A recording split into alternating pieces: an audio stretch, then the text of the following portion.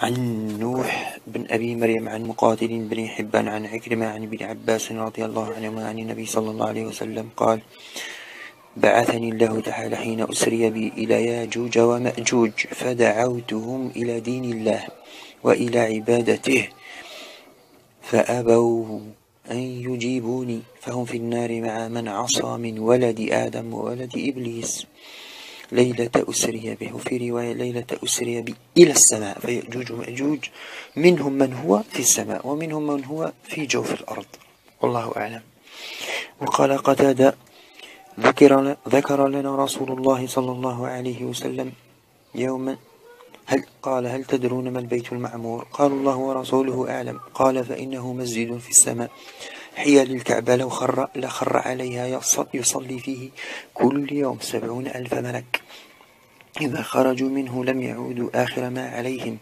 وزعم الضحاك أنه يعمره طائفة من الملائكة يقال لهم الجن من قبيلة إبليس. فصل في في من يقتل أهل السماء. ويعني يأجوج ومأجوج. هم من يقتلوا سكان الفضاء أي تقاتلون. وهذا الشطر الذي يهمنا في هذا الباب. فيقولون أي يأجوج ومأجوج لقد قتلنا من في الأرض. هلم فلنقاتل من في السماء.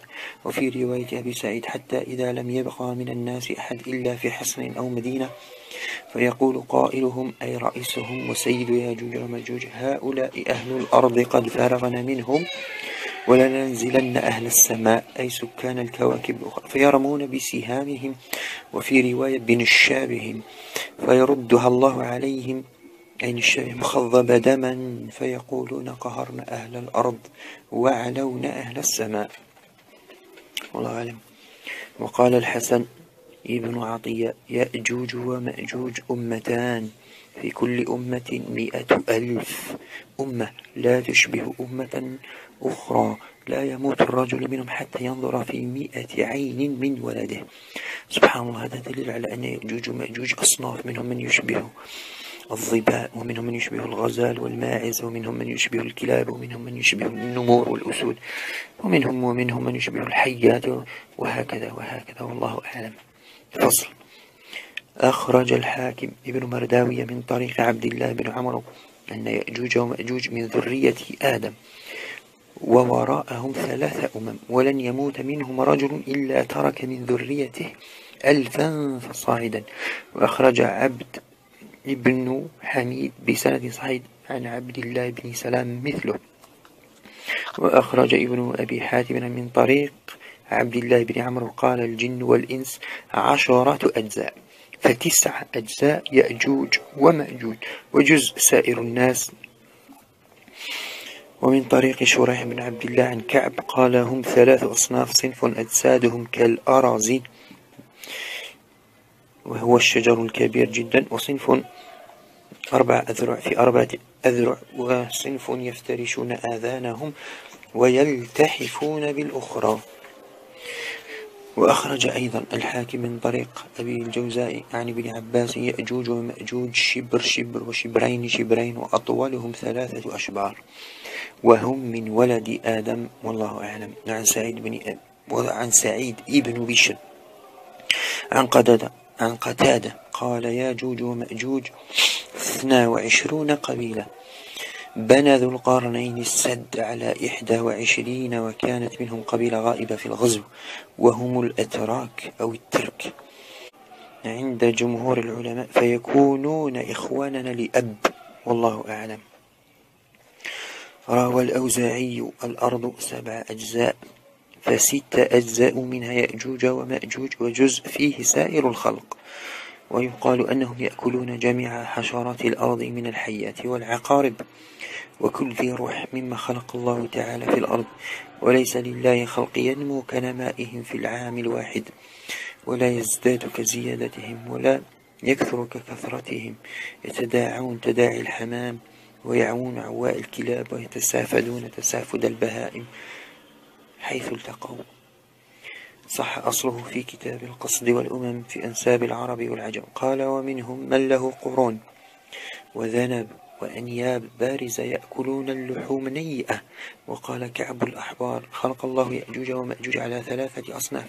صنف أجسادهم كالأرز وصنف أربع أذرع طولا وأربع أذرع عرضا. وصنف يفترشون آذانهم ويلتحفون بالأخرى فيأكلون مشائم نسائهم ذكره أبو نعيم الحافظ. وعن علي رضي الله عنه قال وصنف منهم في الطول شبر لهم مخالب وأنياب كالسبع وتداعي الحمى وتسافد البهائم وعواء الذياب وشعور تقيهم الحر والبرد وآذان عظام إحداهما وابر يشتون فيها وأخرى جلد يصيفون فيها. وعن ابن عباس رضي الله عنهما قال الأرض ست أجزاء فخمس أجزاء يأجوج ومأجوج وجزء فيه سائر الخلق. وقال كعب الأحبار احتلم آدم عليه السلام فاختلط ماءه بالتراب فآسف فخلق من ذلك قال فخلق من ذلك. قال علماؤنا وهذا فيه نظر لأن الأنبياء صلوات الله عليهم لا يحتلمون. وقال الضحاك هم من الترك وقال مقاتل هم من ولد يافث بن نوح. والله أعلم. وفي كتاب الفتن لنعيم بن حماد رواه. الحديث موقوف. حدثنا ابن وهب عن مسلة بن علي وموسى بن شيبة عن الأوزاعي عن حسن بن عطية عن ابن عباس قال الأرض سبع أجزاء فستة أجزاء منهم ياجوج ومأجوج وجزء فيه سائر الخلق.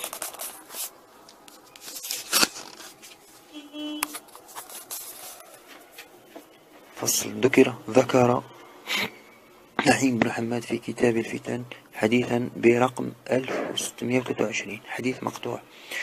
حدثنا يحيى بن سعيد حدثني سليمان بن عيسى قال بلغني أن عيسى ابن مريم عليه السلام إذا قتل الدجال ونزل بيت المقدس ظهر يأجوج ومأجوج وهم أربع وعشرون أمة ياجوج وماجوج ويناجيج وجاج والغسلائيون والسبتيون والفازانيون والقوطانيون وهم الذين يلتحفون يلتحف أذنه ويفترش الأخرى. والزيطيون وهم الزيطة لزيطس الرماديين. والكنعانيون والدفرائيون والخاخونيون وهم الأنوناكي الأنوناخي أو المؤتفكات. والأمطاريون وهم لسنطار نصفه إنسان ونصفه آه، حصان آه، الأنطوريون بنو قنطوراء والمغغاشاؤون ورؤوس الكلاب وهم رؤوس الكلاب والثعالب ورؤوس آه، أو القطرب رؤوس الكلاب. فهم جميعهم أربع وعشرون أمة لا يمرون بحي ولا ميت إلا أكلوه ولا بماء إلا شربوه ويشرب أولهم ماء بحيرة طبرية ويمر آخرهم فلا يجدون ماء حتى يجتمعوا ببطن أريحة. فإذا سمعوا عيسى فز... فإذا سمع عيسى فزع إلى الصخرة. ومن معه الصخرة؟ أي قبة الصخرة. في فلسطين لينتقلوا إلى طوروس كوكبة الثريا. ومن معه من المؤمنين فيقوم عليهم خطيبا فيحمد الله ويثني عليه ويقول اللهم انصر القليل في طاعتك على الكثير في معصيتك. هل من منتدب فينتدب رجل من جرهم ورجل من غسان حتى ينزل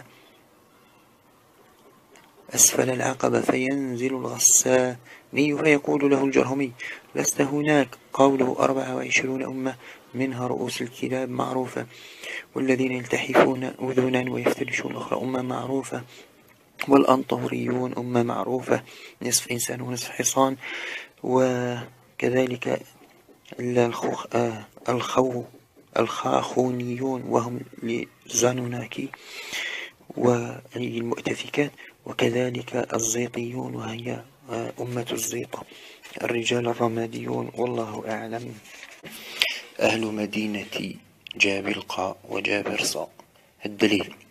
على وجود هاتان الأمتان هو الحديث الطويل الذي رواه الإمام ابن جرير الطبري رحمه الله تعالى في كتاب التاريخ الأمم والملوك المعروف باسم تاريخ الطبري حيث قال ما نصه؟ حدثني محمد بن منصور قال حدثنا خلف بن واصل قال حدثنا أبو نعيم عن مقاتل بن حيان عن عكرمة قال وذكر الحديث بطوله إلى أن قال قال النبي وإن جبريل عليه السلام انطلق بي إليهم ليلة أسري بي من المسجد الحرام إلى المسجد الأقصى فدعوت ياجوج ومأجوج إلى عبادة الله عز وجل فأبوا أن يجيبوني ثم انطلق بي إلى أهل مدينتين. فدعوتهما إلى دين الله عز وجل وإلى عبادته فأجابوا وأنابوا فهم في الدين إخواننا من أحسن منهم فهو من مع محسنكم ومن أساء منهم فأولئك مع المسيئين منكم. ولقد جاء ذكر خبر أهل مدينة جابلقى وجابرصة الذين في المغرب والمشرق في كتب أهل السنة وفي كتب العلماء والمفسرين والمؤرخين والجغرافيين. والرحال العرب القدامى رحمه الله تعالى. والله أعلم. قال العلامة ابن جرير الطبري رحمه الله تعالى في كتابه قصص الأنبياء. تحت عنوان القول في الليل والنهار أيهما خلق قبل صاحبه وفي بدء خلق الشمس والقمر وصفاتهما. ما نصه؟ حدثني محمد بن منصور قال حدثنا خلف بن واصل قال حدثنا أبو نعيم عن مقاتل بن حيان عن عكرمة قال وذكر الحديث بطوله إلى أن قال قال النبي وعجبت من خلق الله ولعجب وللعجب من القدرة في من لم نرى أعجب من ذلك وذلك قول جبريل عليه السلام لسارة أتعجبين من أمر الله؟ سورة هود الآية 73 وذلك إن الله عز وجل خلق مدينتين إحداهما بالمشرق والأخرى بالمغرب. أهل المدينة التي بالمشرق من بقايا ثمود من نسل الذين آمنوا بصالح اسم التي بالمشرق بالسريانية مرقيسية وبالعربية جابلقة. واسم التي بالمغرب بالسريانية جابرسية. وبالعربية جابرس ولكل مدينة منهما عشرة آلاف باب ما بين كل باب كل ما بين كل بابين فرسخ. ينوب كل يوم على كل باب من أبواب هاتين المدينتين عشرة آلاف رجل من الحراس. عليهم السلاح لا تنوبهم الحراسة بعد ذلك إلى يوم ينفخ في الصور. فوالذي نفس محمد بيده لولا كثرة هؤلاء القوم وضجيج أصواتهم لسمع الناس من جميع أهل الدنيا. هدة وقعة الشمس حين تطلع وحين تغرب ومن ورائهم ثلاث أمم منسك. ربما هي حضارة نسكة منسك وتاوي وتافيل وتعريس ومن دونهم يأجوج ومأجوج وإن جبريل عليه السلام انطلق بي. إليهم ليلة أسري بي.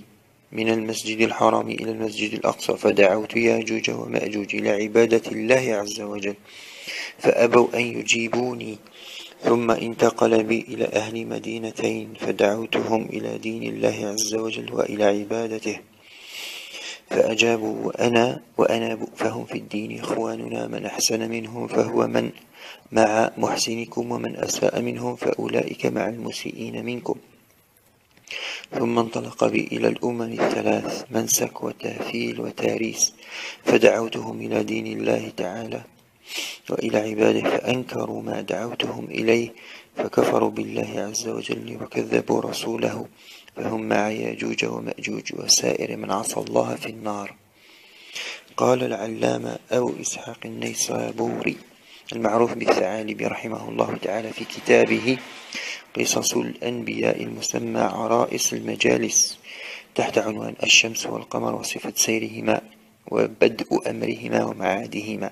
ما نصه؟